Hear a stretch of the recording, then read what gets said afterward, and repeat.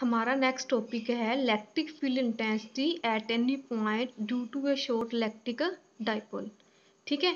इसको हम सोल्व करने से पहले इसकी डायग्राम देखेंगे। ए भी हमारे पास क्या है? एक शॉर्ट लैक्टिक डाइपोल मूवमेंट ठीक है? इसकी डायरेक्शन है अलोंग ए बी क्योंकि ए पे हमने माइनस क्यू चार्ज को रख दिया और पॉइंट बी पे हमने प्लस को रख दिया। हमें पता है जो पी की डायरेक्शन होती है, वो लॉन्ग नेगेटिव टू पॉजिटिव होती है। इसलिए जो ए बी की डायरेक्शन आएगी along A A to B आएगी, ठीक है? अब हमने क्या फाइंड करना है? जो इस डाइपोल से मतलब कि इलेक्ट्रिक फ़ील्ड इंटेंसिटी प्रोड्यूस होती है, किसी भी पॉइंट के पे उसको फाइंड करना है। अब ये वाले पॉइंट को आप ध्यान से देखो, जो के पॉइंट है, ना तो इसके मतलब कि अलोंग है, ना ही इसके परपेंडिकुलर है, वो किसी एंगल पे लाई करता है, ठीक है? अब हमें पता है, अगर कोई भी वेक्टर किसी एंगल पे लाई करे तो उसके टू कंपोनेंट होंगे। इसलिए जो ए बी की डाइपोल मूवमेंट है, उसके टू कंपोनेंट होंगे P cos theta and P sine theta अब हमने क्या किया? एक हमने लाइन ले ली ए वन बी वन और दूसरी ले ली ए टू बी टू जो हमारे पास पी कोस थीटा वाला कंपोनेंट था, उसको हमने ए वन बी वन से रिप्रेजेंट कर दिया। जो पी साइन थीटा वाला कंपोनेंट था, उसको हमने ए टू बी टू से रिप्रेजेंट कर दिया। अब हम इसको सोल्व करते हैं। Field intensity at K on the axial line of A one B one हमने क्या फाइंड करना है? Electric field intensity at a point K on the axial line of A one B B one अब ध्यान से देखो, जो point K है ओ, वो ए वन बी वन के क्या है? एक्सल लाइन पे। देखो ए वन बी वन और पॉइंट के में एंगल ज़ीरो है ना, इसलिए हम कह सकते हैं जो पॉइंट के है ए वन बी वन के एक्सल लाइन पे है। ठीक है? इसलिए हम ए वन बी वन के लॉन्ग हमने जो डाइपल मूवमेंट को कंसीडर किया था, वो था पी कोसिटा इसलिए अब हम यहाँ पे पी की वैल्यू क्या पुट करेंगे? जो एक्सल वाली आई थी। एक्सल वाली हमारे पास क्या आई थी? P two P one point four pi epsilon naught are Q यहाँ पे कोसिट्टा है, इसलिए हम यहाँ पे लिख देंगे कोसिट्टा। ई वन को हम अलोंग के एल से रिप्रेजेंट कर देंगे। अब हम फाइंड करेंगे field intensity at K on equatorial line of A two B two अब देखो ध्यान से, जो ए टू बी टू है, वो ए वन बी वन के क्या है? परपेंडिकुलर जो ए वन बी वन है के के क्या है? अलोंग है। इसलिए ये के पॉइंट हम कह सकते हैं A two B B two के क्या है? परपेंडिकुलर ठीक है, इसलिए अब हम यहाँ पे परपेंडिकुलर का फॉर्मूला पुट करेंगे। वो हमारे पास आया था P point four pi epsilon naught R cube यहाँ पे साइन थिट्टा था, इसलिए लिखेंगे यहाँ पे साइन थिट्टा इसकी डायरेक्शन ले लेंगे हम अलोंग के एम अब हम ई e वन और ई e टू का टोटल फाइन करेंगे, ठीक है? पहले हम इस पैलोग्राम को कंप्लीट करते हैं। हमने के एल के लॉन्ग ले लिया एम एन और के एम के लॉन्ग ले लिया एल एन ठीक है? और लाह पैलोग्राम ऑफ़ वेक्टर के अकॉर्डिंग क्या होता है?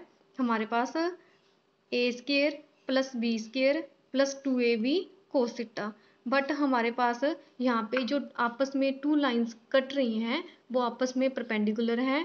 इसलिए कोस यहाँ पे हमारे पास आ जाएगा नाइन्टी कोस नाइन्टी की वैल्यू होती है ज़ीरो इसलिए हमारे पास आ जाएगा A square plus B square ठीक है? मतलब कि के एल का स्केयर प्लस के एम का स्केयर के एल को हमने ई वन से रिप्रेजेंट किया है के एम को हमने ई टू से रिप्रेजेंट किया है।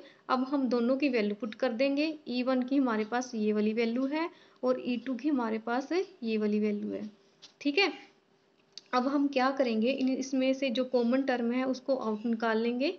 ठीक है? वो थी हमारे पास पी यहाँ पे भी है, यहाँ पे भी है। पी को हमने बाहर निकाल लिया। फोर पाई अब सेलेनोट आर क्यूब को बाहर निकाल लिया। इसके अंदर क्या रह गया? Four cos theta square plus sine square theta ठीक है? अब हम फोर कोस के थीटा को कैसे लिख सकते हैं? थ्री कोस के थीटा प्लस कोस के थीटा ठीक है? अब हमें पता है कोस के थीटा प्लस साइंस के थीटा किसके इक्वल होता है? वन के। इसलिए हमारे पास जो टोटल इलेक्ट्रिक फ़ील्ड इंटेंसिटी थी पॉइंट के पे, वो आ गई P point four pi epsilon naught R cube square root three cos square theta plus one देखो भाई, ये मतलब कि समझाना थोड़ा टफ है। इसमें हमने क्या किया है? जो पॉइंट के कंसीडर किया है, उसको ना तो हमने एक्सल लाइन पे लिया है ना इक्वेटोरियल लाइन पे है किसी भी एनी अदर पॉइंट पे लिया। देखो, हमने ई e का मतलब कि मैग्नीट्यूड तो फाइंड कर लिया। अब हम इसकी डायरेक्शन को फाइंड करते हैं। डायरेक्शन को फाइंड करने का तरीका होता है टेन अल्फ़ा देखो, इस डायग्राम को ध्यान से देखो। टेन अल्फ़ा की वैल्यू आएगी L N upon K L क्योंकि ये क्या हमारे पास परपेंडिकुलर ये क्या बेस टेन का फार्मूला होता है परपेंडिकुलर पोन बेस ठीक है? और जो एल एन है हमारे पास, वो किसके पैलर है? के एम के। इसलिए हम यहाँ पे एल एन की जगह पे के एम भी पुट कर सकते हैं। अब हम के वन के एम और के एल की वैल्यू पुट कर देंगे। के एम को हमने ई e टू से रिप्रेजेंट किया था। के एल को हमने ई e वन से रिप्रेजेंट किया था। इसलिए हम ई e टू और ई वन की वैल्यू पुट कर देंगे। ठीक है?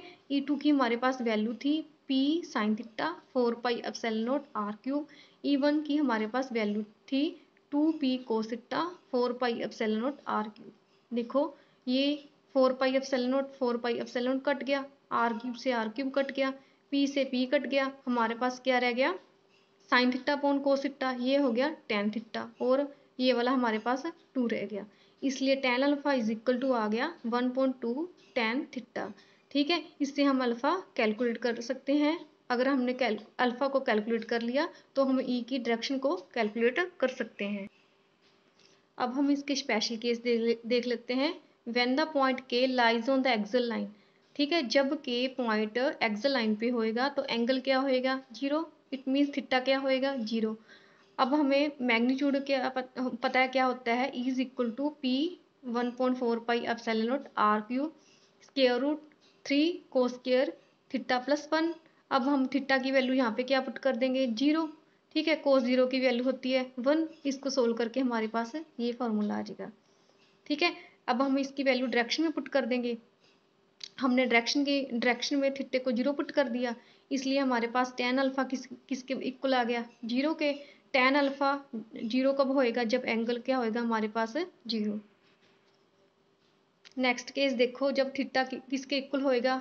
नाइन्टी ठीक है? मतलब जो के पॉइंट होएगा, वो डाइपोल के परपेंडिकुलर होएगा। अब हम क्या करेंगे? थीटा को नाइन्टी पुट कर देंगे। कोस नाइन्टी क्या होता है? हमारे पास ज़ीरो इसलिए ये वाली टर्म सारी कैंसिल हो जाएगी, ई ई हमारे पास ये वाला आ जाएगा। और हम थिट्टा की वैल्यू यहाँ पे भी नाइन्टी पुट कर देंगे, ठीक है? और टेन नाइन्टी क्या होता है? इन्फिनिटी इसलिए हमारे पास एंगल क्या आ जाएगा? नाइन्टी ठीक है बेटा? इसको भी आप अच्छे से रफ नोटबुक पे सोल्व करके देखना।